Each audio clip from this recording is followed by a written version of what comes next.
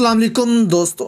Army chief Asim Munir का दौरा America शुरू हो चुका है, जहाँ उन्होंने US secretary of state Lloyd Austin से मिलना है। साथ national security adviser Jake Sullivan और सीआईए के डायरेक्टर भी उनसे मुलाकात करेंगे। कहा जा रहा है कि आर्मी चीफ का ये दौरा सितंबर में होना था, लेकिन तीन माह इसको डिले किया गया और अब जाकर इस दौरे को अरेंज किया गया है। तो इस पर भी मोहित पीरजादा ने सवाल उठाया था कि आखिर इस दौरे को इतना डिले क्यों किया गया? आपके सामने रखते हैं कि अमेरिका में पाकिस्तानियों के प्रोटेस्ट की सूरत हाल और राही तब्दील शरीफ के बाद आखिर। जनरल आसिम मुनीर को इतनी अहमियत क्यों मिल रही है? अमेरिका में। और साथ आपको बताएँगे इसराइल की ज़ुबानी के हमास के पास किस किस्म के हथियार मौजूद हैं, जिनकी तफसीलात इसराइल ने फ्राहम कर दी हैं। देखें, जैसे कि आपको मालूम है कि अमरीकी पाकिस्तानियों ने रजीम चेंज के बाद से अब तक बहुत प्रोटेस्ट किए हैं इमरान खान के लिए, खासकर जब से इमरान खान को जेल में डाला गया है।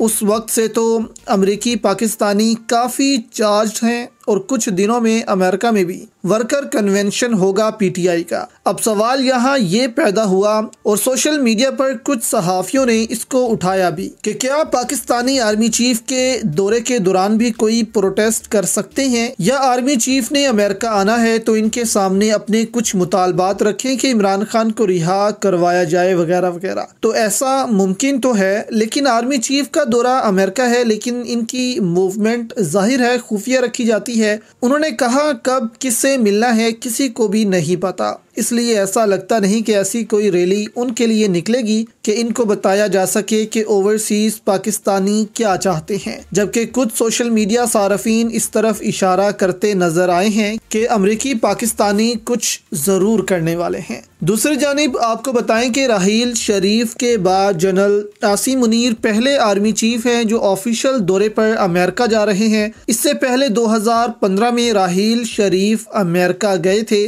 जबकि गए तो कमर बाजवा भी थे, लेकिन उनको फेयरवेल दी गई थी वहाँ पर। कोई ऑफिशियल विज़िट उनके लिए वहाँ पर अरेंज नहीं किया गया था। तो इस चीज़ से पता चलता है कि अमेरिका के लिए इस वक्त पाकिस्तान बहुत अहम बना हुआ है, और इसकी वजह अफ़गानिस्तान भी है, और फिर इसकी वजह गजा और यूक्राइन वार भी है। अब ये पाकिस्तान पर है कि वो इस इसमें किस कदर अहम रोल अदा करता है। कहीं ऐसा ना हो कि फिर से अमेरिका पाकिस्तान को इस्तेमाल कर जाए, क्योंकि तारीख रही है दोनों ममालिक के ताल्लुक की कि जब अमेरिका को पाकिस्तान की ज़रूरत होती है तो अमेरिका पाकिस्तान के आगे पीछे होता है और बहुत मेहरबान भी होता है।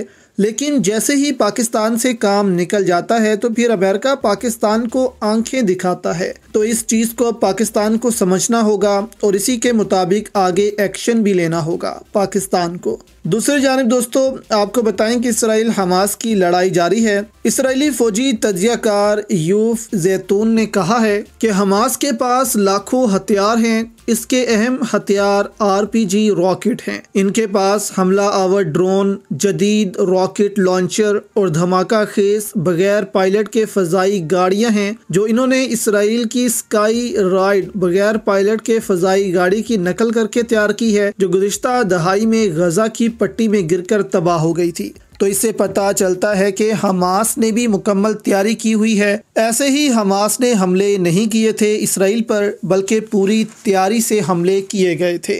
दूसरी जानब अलकसाम ब्रिगेड के तर्जुमान अबू उबैदा ने कहा कि मुजाकरात के बगैर कोई भी यरगमाली रिहा नहीं किया जाएगा। अबू उबैदा का कहना था कि फौजी ताकत से इसराइली यरगमालियों को रिहा नहीं करवा सकता। मुजाकरात के बगैर कोई यरगमाली रिहा नहीं होगा। अब रूस इस मामले में ऐलान कर चुका है पहले ही कि एक आलमी निगरानी जो है वो फौज वो गजा में तैनात की जाए ताकि आलमी दुनिया इस मामले को देख सके और इसराइल जो जंगी जराइम कर रहा है गजा में इस पर एक्शन ले सके। लेकिन रूस के बाद अब ज़ाहिर है इस मुतालबे को चीन को भी दोहराना होगा और अमेरिका पर प्रेशर डालना होगा कि अमेरिका भी राज़ी हो जाए इसके लिए।